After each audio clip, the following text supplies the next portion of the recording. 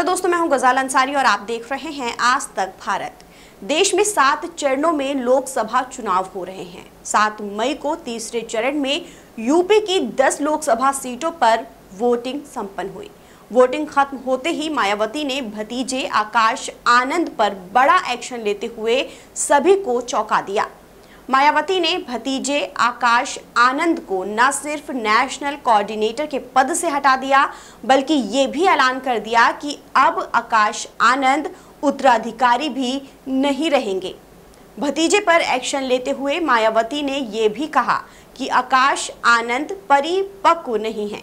ऐसे में उनसे जिम्मेदारियाँ वापस ली जाती हैं। और इस बात की जानकारी मायावती ने खुद ट्वीट करके दी।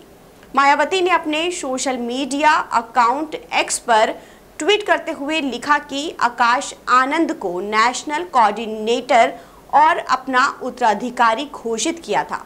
किंतु पार्टी और मूवमेंट के व्यापक हित में पूर्ण परिपक्वता आने तक अभी उन्हें इन दोनों अहम जिम्मेदारियों से अलग किया जा रहा है।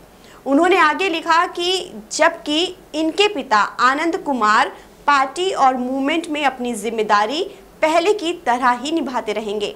अतः बीएसपी का नेतृत्व पार्टी और मूवमेंट के हित में और बाबा साहेब, डॉक्टर अंबेडकर के कारवा को आगे बढ़ाने में हर प्रकार का त्याग और कुर्बानी देने से पीछे हटने वाला है। बहुजन समाजवादी पार्टी की नई पीढ़ी के तौर पर पार्टी में अहम पदों पर नियुक्त किए गए आकाश आनंद की शुरुआत अच्छी नहीं रही। महज पाँच महीनों में ही पार्टी सुप्रीमो मायावती ने आकाश आनंद से नेशनल कोऑर्डिनेटर छीन लिया। आपको बता दें कि मायावती ने उन्हें पिछले साल दिसंबर में ही अपना उत्तराधिकारी घोषित किया था। उन्होंने कहा था कि उत्तर प्रदेश और उत्तराखंड को छोड़कर आकाश आनंद पार्टी की निगाह में कमज़ोर राज्यों में काम करेंगे। मायावती ने आकाश को 2024 के लोकसभा चुनाव से पहले बड़ी ज़िम्मेदारी सौंपी थी। ऐसे में चुनाव ऐलान के साथ आकाश आनंद ने ताबड़तोड़ रैलियाँ शुरू कर दी और आक्रामक तेवर के साथ प्रचार कर बसपा के पक्ष में राजनीतिक माहौल बनाने के लिए मशक्कत कर रहे थे। लेकिन अचानक ऐसा क्या हुआ और क्या वजह थी कि मायावती को पाँच महीने में ही आकाश आनंद से अपरिवक्तता दिखने लगी और उन्हें सारी ज़िम्मेदारी से मुक्त करना पड़ा। तो चलिए बताते हैं आपको। सबसे पहली वजह, नगीना में रावण पर हमला। मायावती ने आकाश को उत्तर प्रदेश और उत्तराखंड को छोड़कर बाकी राज्यों में काम करने के लिए कहा था। लेकिन इसके बावजूद आकाश पश्चिमी यूपी के नागीना से लेकर पूर्वांचल के बनारस तक करीब दो दर्जन से ज़्यादा रैलियों को संबोधित करने का काम किए। इस दौरान आकाश आनंद ने आक्रामक तेवर अख्तियार कर रखा था। नगीना में जनसभा में उन्होंने आज़ाद समाज पार्टी के अध्यक्ष और नगीना का प्रत्याशी चंद्रशेखर आज़ाद उर्फ़ रावण पर सीधा हमला बोला था, जो बसपा को पसंद नहीं आया। दूसरी वजह, सीतापुर रैली में दिया भाषण। उन्होंने सीतापुर के राजा कॉलेज में एक जनसभा को संबोधित किया था। रैली में आकाश आनंद ने क्या कुछ कहा था, पहले आप ये सुन लीजिए। चलाता है। साथियों इन सरकारों ने, भाजपा की सरकार, बुलडोजर की सरकार नहीं, यह आतंकवादियों की सरकार है।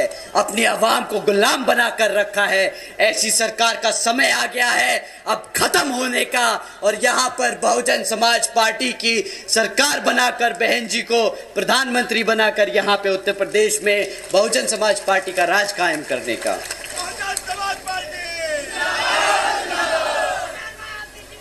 साथियों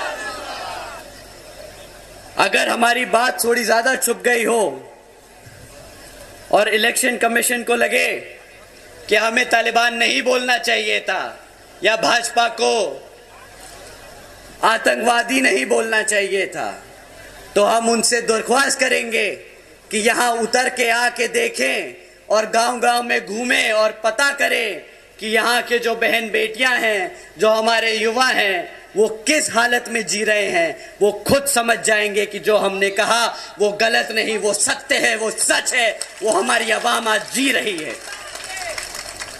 साथियों, रोज़गार पर एक और टिप्पणी करी थी आदरणीय प्रधानमंत्री जी ने। उन्होंने कहा था कि भाई, सरकारी नौकरियाँ नहीं है तो क्या हुआ? सरकारी नौकरियाँ नहीं है तो क्या हुआ? भाई, पकोड़े तो तल रहा है ना, वो भी तो रोज़गार है। अब आप ही बताइए, इतनी पढ़ाई लिखाई कराकर अपने बच्चे को आप पकौड़ा तलवाएँगे क्या? बहुजन समाज, पढ़ा लिखा समाज है, वो पकौड़े तलने के लिए नहीं पैदा हुआ है। वो यहाँ अपने भारत की संविधान के आधार पर चलकर अपने भारत को बड़ा, आगे बढ़ाने का काम करेगा। बहुजन समाज, पहला समाज लटकाए। इतनी तेज तेज धूप में आप हमें यहाँ सुनने आए हैं।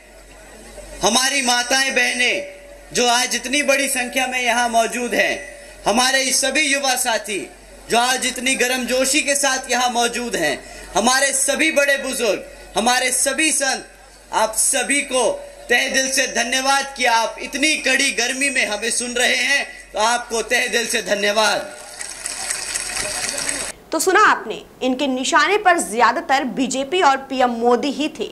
सीतापुर में दिए भाषण में उन्होंने पीएम मोदी का कई बार नाम लिया और सीधे केंद्र की सरकार को, गद्दारों की सरकार, आतंकवादियों की सरकार तक कह दिया। यहाँ तक कि कह दिया कि इस बार ये वोट लेने आए तो जूता तैयार रखिएगा। 28 अप्रैल को सीतापुर में दिए भाषण के बाद आकाश आनंद पर चुनाव आयोग का एक्शन हुआ और केस भी दर्ज हुआ। माना जा रहा है कि यही भाषण उनके करियर पर बड़ा ब्रेक लगा गया। कम से कम इस लोकसभा चुनाव में तो आकाश आनंद का ये भाषण आखिरी साबित हो गया। बताया जाता है कि आकाश को भाषा पर संयम रखने के लिए कहा गया था, लेकिन वो माने नहीं। मायावती की राजनीति की एक बड़ी खासियत रही है कि वो विरोधियों पर हमला करती हैं तो चाशनी में डुबोकर, उन्हें आपा खोते हुए नहीं देखा गया। वो अब शब्द बोले बिना भी विरोधियों को पस्त करने की ताकत रखती हैं। अब आकाश आनंद बसपा प्रमुख की उस राजनीति में फिट नहीं बैठ रहे थे। यही वजह है कि मायावती को आकाश आनंद पर बड़ा फैसला लेना पड़ा। फ़िलहाल दोस्तों, इस खबर में इतना ही। हमारे चैनल को ज़्यादा से ज़्यादा शेयर करें सब्सक्राइब करें और नोटिफिकेशन के लिए बेल आइकन को दबाना ना भूलें।